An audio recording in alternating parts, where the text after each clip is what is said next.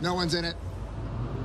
Marking autonomous vehicles as traffic hazards. The group Safe Street Rebels is placing cones on Cruise and Waymo cars as a way to temporarily stop them. They want these cars off the road permanently. Expanded and basically unfettered access to the city streets is a really bad idea. This person is a member of the Safe Street Rebels and asked us not to share their identity. The group calls the protest the Week of Cone. It is happening ahead of next week's vote by the State Public Utilities Commission on whether to allow Cruise and Waymo to expand their services in the city. Residents never actually got a chance to have a say in this and never really consented to being used as human guinea pigs. ABC7 has documented issues with Cruise and Waymo. Just recently, two Waymo cars stalled near the Pride Parade downtown, backing up traffic. The San Francisco Fire Department has criticized Cruise for cars blocking emergency units.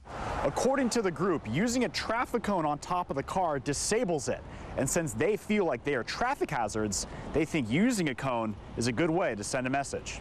As a pedestrian, I feel a little uncomfortable with them uh, as a cyclist, I also feel uncomfortable around them. Waymo told ABC7 News not only is this understanding of how AVs operate incorrect, but this is vandalism and encourages unsafe and disrespectful behavior on our roadways.